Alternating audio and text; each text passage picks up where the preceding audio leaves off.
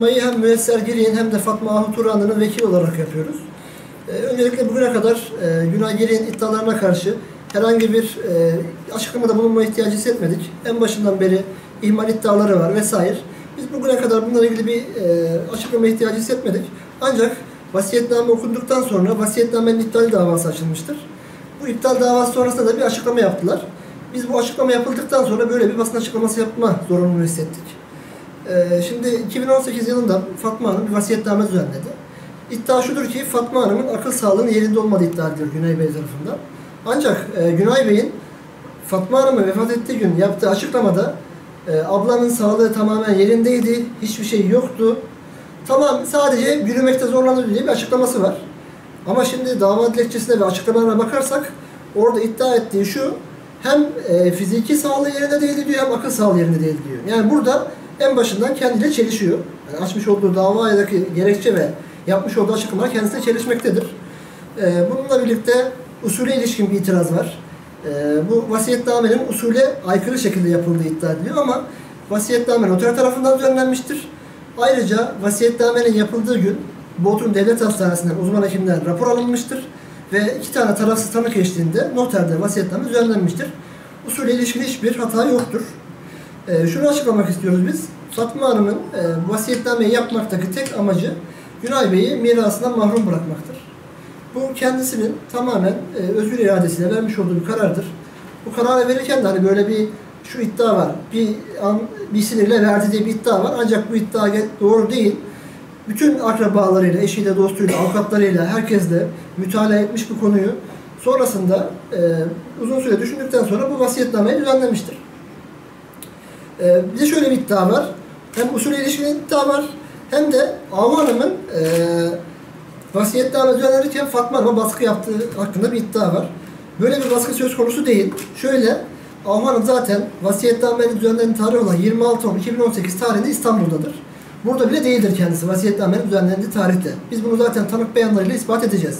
Zaten bu şehir dışında İstanbul'dan Bodrum'a bir baskı yapma gibi bir durum söz konusu değil. Hayatın anlayışı da aykırıdır. Bu iddialar tamamen asılsızdır. Bir büyük konu da şu, haberlerde devam şu geçiyor. Büyük, mirasın büyük bir kısmı Fatma Ahu Turanlı'ya bırakıldı. Küçük bir kısmı da Müesser Hanım'a bırakıldığı yönde bir iddia var. Biz hani vasiyetname, ben kısaca size özetleyeyim. Vasiyetnamede direkt şu ifade var. Fatma Hanım Türkiye Cumhuriyeti hudutları içerisindeki adına kayıtlı taşınmazların tamamının e, eşit hisselerle, tekrar ediyorum eşit hisselerle Müesser Hanım ve Fatma Ahu Turanlı'ya bırakmıştır eşit hisselerle. Yani büyük bir kısmının Ahu Turanlı'ya bırakıldığı yöndeki iddialar tamamen asılsızdır. Biz şuna üzülüyoruz yani resmi bir vasiyetname var. Mahkeme tarafından açıklanmış ve buna rağmen hala bu konuyla ilgili medya yanıltıcı açıklamalar yapılıyor. Müesser Hanım ve Ahu Hanım'ın yanında 5 e, kişinin daha ismi geçiyor vasiyetnamede. Bunlar Günay Bey'in iki tane çocuğu.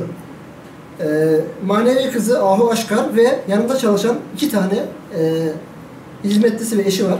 5 kişinin daha ismi var. Bu 5 kişiye de belli miktarlarda para bırakmıştır. Ee, bunu da belirtmek istiyoruz. Ee, bir de şunu söyleyeceğiz biz. Ee, Günay Bey e, en başından beri şöyle bir iddiada Benim e, ablamın malıyla hiçbir işim yok.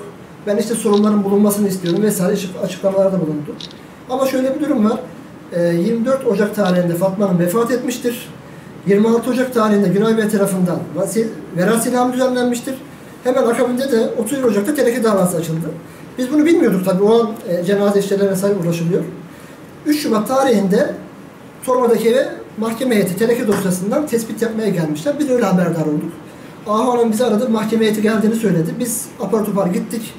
E, tespit yapılan eve. Mahkeme heyeti de oradaydı. Orada e, Günay Bey'in şöyle bir beyanı olduğunu belirtmek istiyorum. E, şimdi teneke dosyasında şöyle bir talepte bulunabilirsiniz. E, ev mühürlenmesi ve boşaltılması bir talep var. Günay Bey talebinde evin boşaltılmasını ve mühürlenmesini istedi. Evde 96 yaşında Münevver Hanım var. Fatma Hanım'ın annesi. Kardeşi var 75 yaşında ve ikisinin de ikametgahı Torba'daki evdir. Buna rağmen böyle bir talepte bulundular. Tabii biz tepki gösterdik. Bulunanlar tepki gösterdi. Bu tepki üzerine Günay Bey telefonla görüşmeye çıktı dışarı. Avukatı olmadığı için muhtemelen avukatını aramıştır. Avukatıyla görüşmesi sonrasında geri geldi ve ben tamam bu talebimden vazgeçiyorum dedi. Zaten hakim de yani o talebin dikkate almadı. E, evi e, dava sonuçlanıncaya kadar ikamet edenleri tahsis etti. Yani şu anda dava sonuçlanıncaya kadar o ev Müyesser Hanım ve Münevver orada ikamet edecekler. Bunun yanında bir, e, bir olay daha yaşandı. Onu da belirtmek istiyorum. Biz bugüne kadar açıklama yapmadık ama e, bu keşif ve tespit sonrasında e, Günay Bey haber yollamaya başladı. Müyesser Hanım'a. E, işte ben o evde benim de hakkım var. Ben de gelip bu evde kalacağım vesaire bir haber yolladı. Evdeki hizmetçiyi aradı. Buna şahitlerimiz var. E, burada e, bizi Müyesser Hanım dedi ki böyle böyle beni aradı. Hatta şunu da söylemiş. Beni kabul etmezlerse ben çilingir vasıtasıyla kapıyı açıp geleceğim o evde ikamet edeceğim. Benim hakkım vardır o evde diye bir beyanı var. Müyesser Hanım tedirgin oldu bunun üstüne. Biz aile mahkemesine başvuru yaptık 21 Şubat tarihinde. Günay Bey hakkında bir ay uzaklaştırma kararı aldık. Devamında 18 Mart'ta ikinci başvurumuzu yaptık. 2 ay daha uzaklaştırma kararı aldık. Bodrum Aile Mahkemesi'nde. Toplamda 3 ay uzaklaştırma kararı alınmıştır. E, bunu da şu an açıklıyoruz. Yani bu zamana kadar bir açıklama ihtiyacı duymadık. Yani bunlar ortada. Yani şu en başından beri bu Günay Bey vasiyetname olduğunu biliyordu. Böyle bir vasiyetname olduğunu. Bu sebeple de Fatma Hanım vefat ettikten sonra e, Ahu Hanım'a karşı bir karalama kampanyası başlattı ve bunu hala devam ediyor.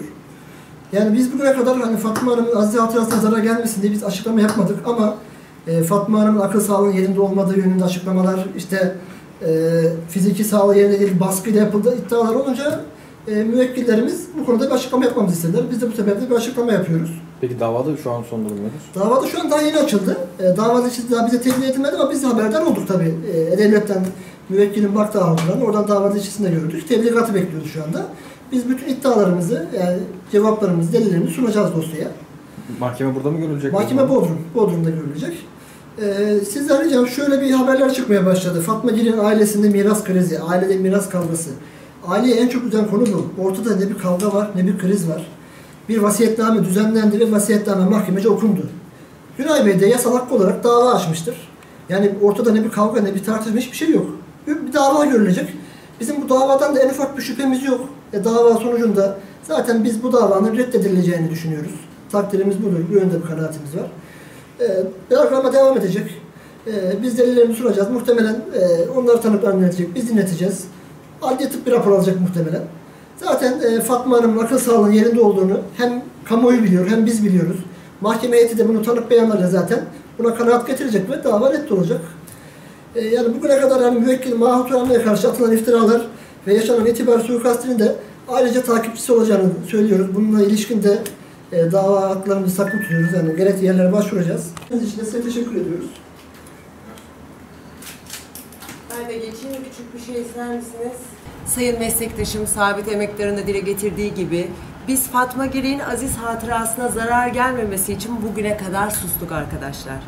Bizim tek istediğimiz Fatma Giri'nin aziz hatırasına Günay Bey'in göstermediği saygıyı sizlerin göstermesidir. Sizden bunu rica ediyoruz. Kamuoyundan ve siz gazeteci arkadaşlardan. Lütfen Günay Bey'in göstermediği saygıyı lütfen sizler gösterin. Bakabilir misiniz? Sağ ol. Ben de aldım şöyle bir telefonu. Tamam. Bir tane buradayız. Son bir kez daha.